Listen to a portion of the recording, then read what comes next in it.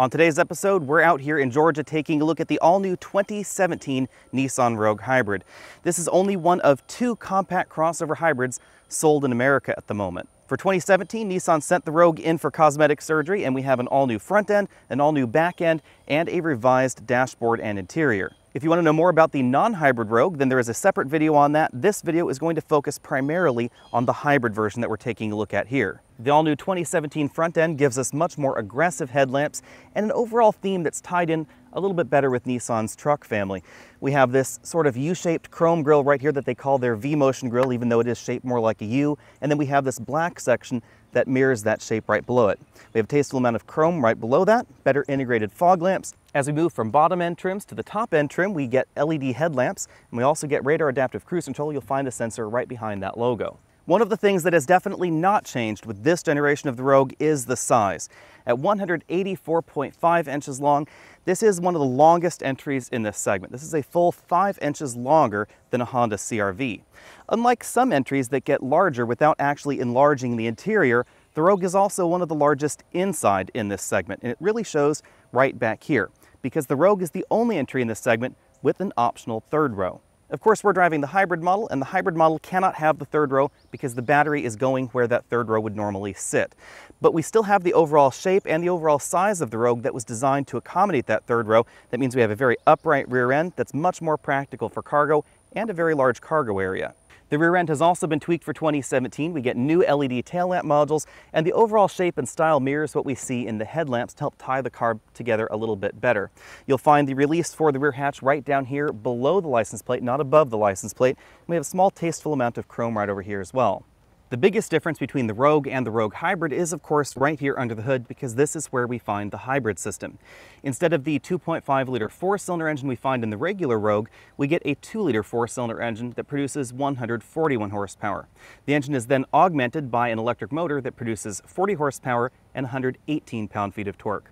The two combine together to give you 176 total horsepower and an undisclosed amount of torque which I'm going to estimate right around 200. Although total system output is 6 horsepower higher than the 2.5 liter four-cylinder engine, overall performance is quite similar because we have some extra weight because of the electric motor and of course the battery pack in the rear. Thanks to the hybrid system, fuel economy goes from 29 miles per gallon in the front-wheel drive regular Rogue to 34 miles per gallon in the front-wheel drive hybrid Rogue. As with the regular Rogue, a mechanical all-wheel drive system is available, and that will remove 1 mile per gallon from your combined score. Before we move on, we should talk about all-wheel drive systems because the all-wheel drive system in the Rogue is very, very different than what we see in the RAV4 hybrid.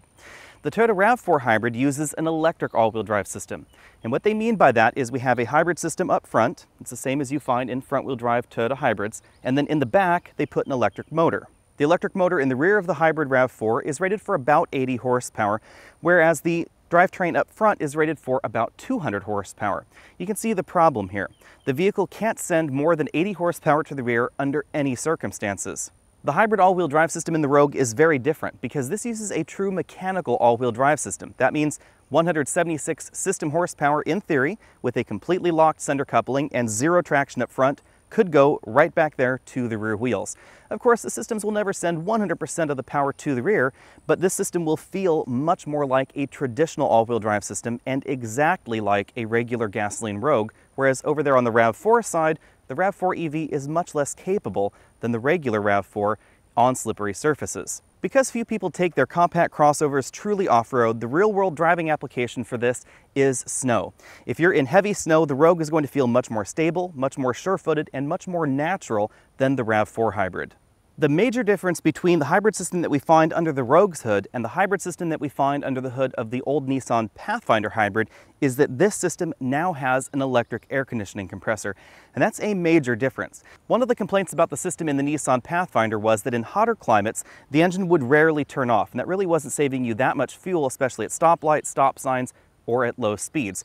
The Rogue is completely different. This will actually shut off its engine at low speeds, high speeds, up to 75 miles an hour, or even drive along in EV mode for up to 2 miles at 25 miles an hour.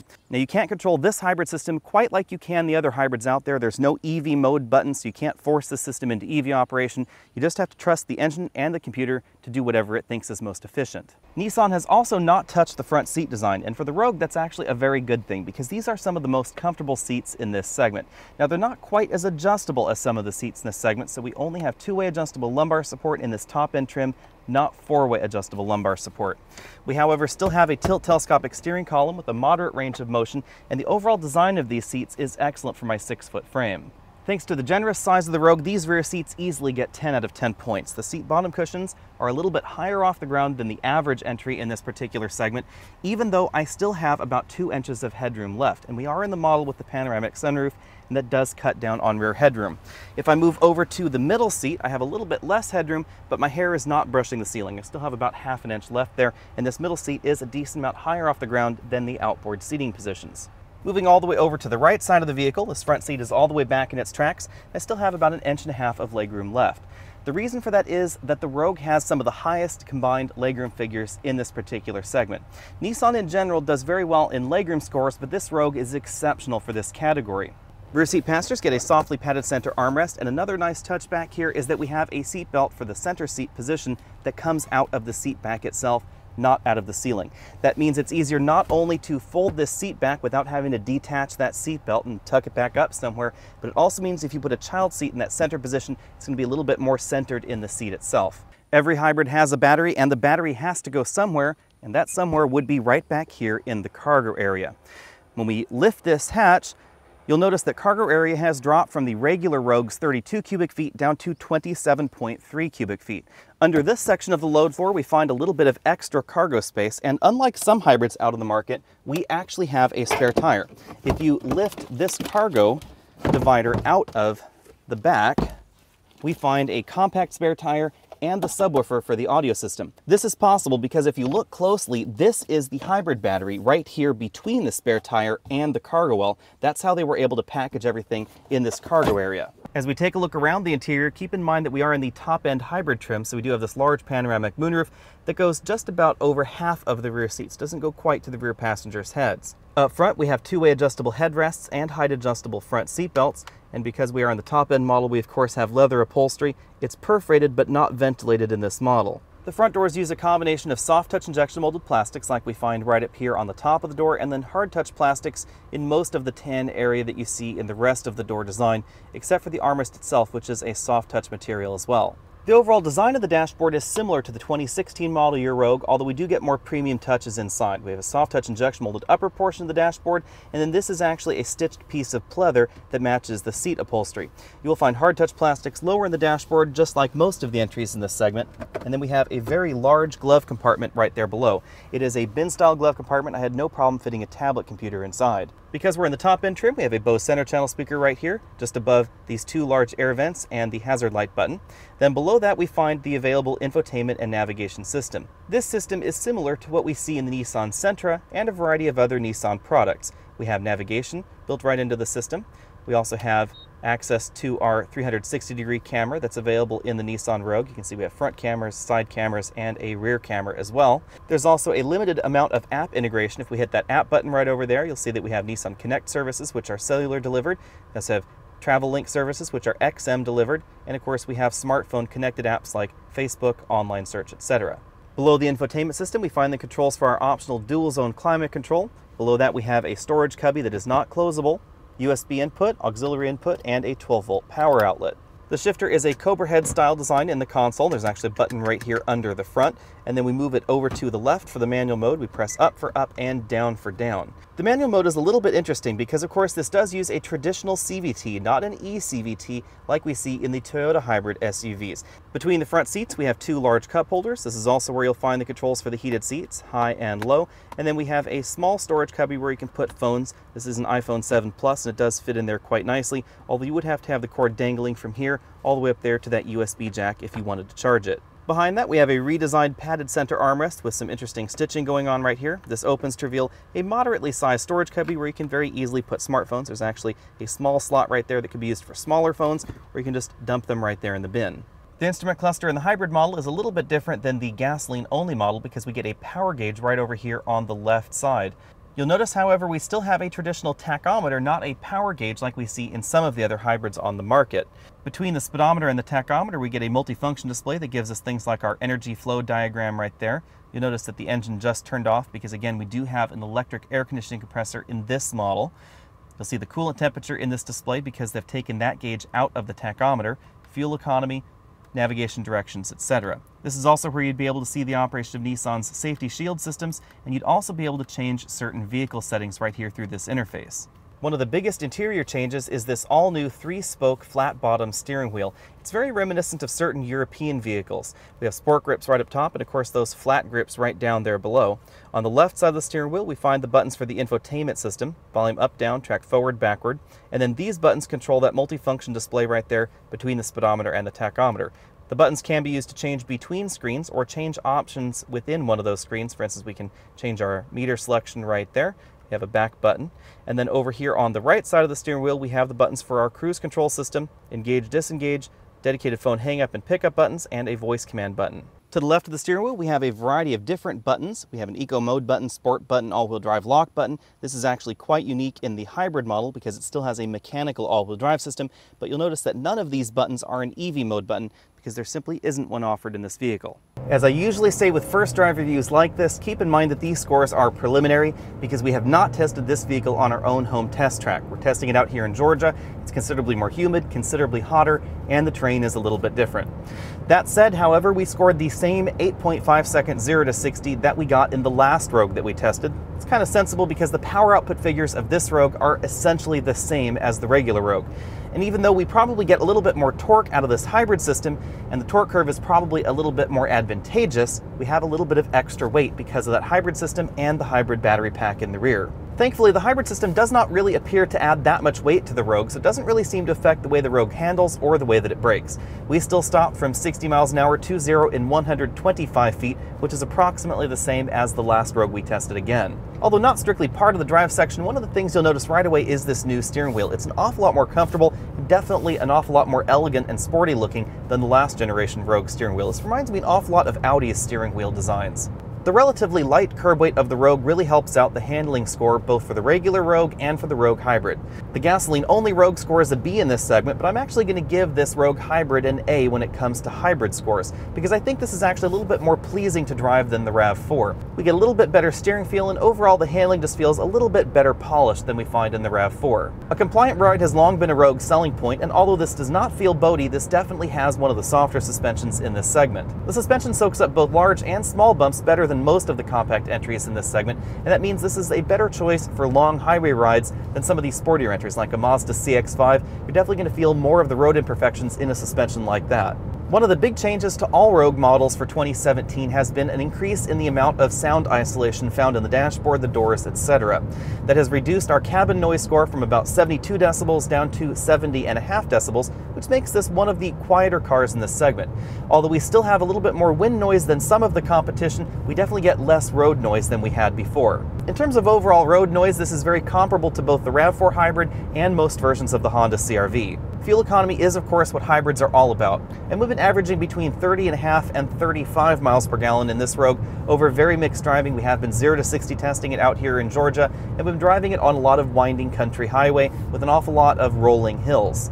That fuel economy score is very comparable to the RAV4 hybrid, although it does seem that the RAV4 hybrid will get slightly better fuel economy in stop and go traffic like on freeways. The reason is that this hybrid system seems to be a little more reluctant to use just the electric motor in those low speed situations than the RAV4. The RAV4 will wait a little bit longer to kick in the gasoline engine, and I think it has a slightly larger battery pack, although neither Nissan nor Toyota have released complete detailed specifications on their battery packs. In most situations, this hybrid system is just as smooth or smoother than the system that we find in the RAV4 in terms of transitions between EV and hybrid mode or gasoline-only engine power mode. Because the Rogue uses a traditional CVT, this will feel more like the regular Rogue, and this CVT also imitates shift points. So if you floor the car, for instance, we get imitation shift points once we hit around 6,000 RPM, you can hear it there. And you don't find that in the RAV4. The RAV4 drives very much like a Prius. The other thing that impressed me about this hybrid system is the braking feel. In most of Toyota's hybrids, if you apply the brakes gently and then you move from a gentle brake application to a full brake application, there's a moment where it feels like the car isn't doing anything. That's something that seems to be very unique to the Toyota hybrids. We don't really get that same feel in most of the other hybrids on the market or in this Rogue hybrid. This has a very linear brake pedal feel, feels more like a traditional vehicle. The transition between friction and regenerative braking is almost unnoticeable. Nissan has yet to announce pricing on the 2017 Rogue Hybrid, so our comparisons will have to wait until that pricing figure comes out. However, because the Nissan Rogue is available in lower end trims than we see the RAV4, talking about comparable equipment, and because this is available as a front-wheel drive vehicle, the RAV4 is available only as an all-wheel drive vehicle at this time, I expect the Rogue to be significantly less expensive than the RAV4 Hybrid. Although the Rogue is likely going to be less expensive than the RAV4 Hybrid, the hybrid system itself is one of the smoothest on the markets.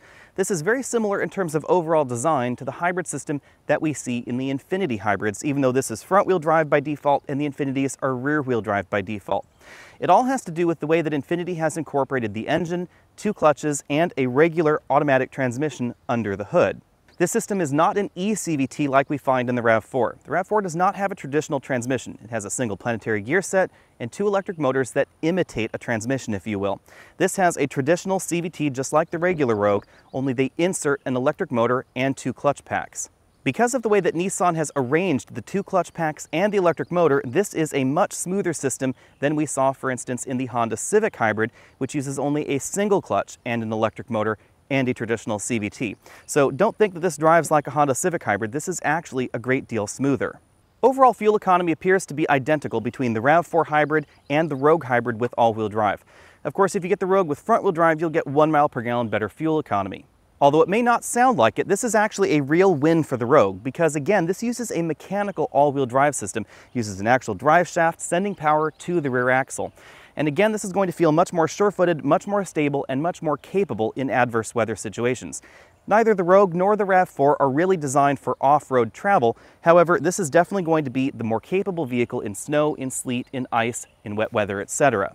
Not only does this use a traditional mechanical all-wheel drive system like the regular Rogue, this also maintains the all-wheel drive center coupling lock capability that we find in the regular Rogue. So under speeds of approximately 20 to 25 miles an hour, you can press that button and actually mechanically lock that center coupling, and that helps out in adverse weather situations, especially on ice or on snow. It's going to make the Rogue feel definitely more sure-footed. Expected reliability is obviously a strong selling point for the RAV4 Hybrid, but I don't expect the hybrid system in this Rogue to be that far off the regular Rogue in terms of reliability. The reason for that is the transmission is essentially the same, the all-wheel drive system is essentially the same, and the hybrid components have been used in other Nissan vehicles in the past. Nissan has produced this two-clutch one motor hybrid system in various forms for several years. And again, we see the same basic system design in a variety of Infiniti products. Although it has yet to be released, the only other competitor with the Rogue would be the upcoming hybrid from Kia. Now Kia is calling their new hybrid a crossover, but it really is more of a hybrid front-wheel drive hatchback. You cannot get all-wheel drive at all like you can in the RAV4 or this Rogue right here, so it's going to be a very different kind of vehicle if you're looking for a crossover for inclement weather and that all-wheel drive application. If, however, you're simply looking at a front-wheel drive crossover because of the practical utility of the space inside, then the Kia may be a valid comparison. We don't really know what fuel economy is going to be like, but we do expect that Kia to be a little bit higher than this Rogue. It's probably going to be in the mid 40s. Until we can get our hands on one for a complete week, if you're looking for a compact hybrid crossover, definitely put the Nissan Rogue on your shopping list, especially if you're looking for one that's still capable in inclement weather. Thanks for taking the time to check out this video. Be sure and comment down below this video. Let me know what you think about the 2017 Rogue and the 2017 Rogue Hybrid. Be sure and hit that subscribe button so you can be updated on all of our latest videos, including the full review on this vehicle when we get our hands on it for a complete week. In the meantime, check out those related videos on the side of your screen. Find me over at facebook.com, and I'll see you next week.